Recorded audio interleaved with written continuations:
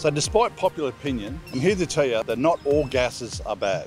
In fact, here in Moreton Bay, we're using it as a source of renewable energy to power up to 7,000 homes locally. So thanks to our partnership with green energy provider LGI Limited, we're able to convert methane gas from our landfill sites in Bunya, Caboolture and Dakabin into green energy. So when our team comes out to a site and we drill into a landfill, um, the pipework we put in there has little holes to, to suck the gas in.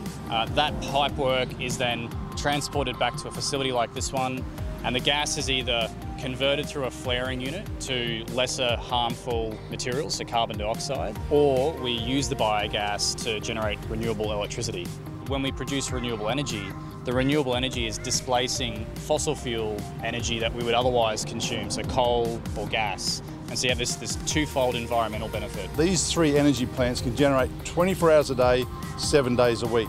So since we've started this project, we've stopped 96 million cubic metres of methane gas from entering the atmosphere. Capturing this gas also reduces the landfill fires and the odour emissions to nearby residents, which is very important. So with the work we've been uh, undertaking with Moreton Bay Regional Council, since 2010 these three facilities have abated over 900,000 tonnes of carbon dioxide equivalent. And again, that's a huge number. Uh, this would be the same abatement that you'd achieve if you were to have planted 15 million seedlings that eventually grow up to, to a tree. Green technology is the way of the future and Moreton Bay Regional Council wants to be a leader in this space so we can go green as we grow.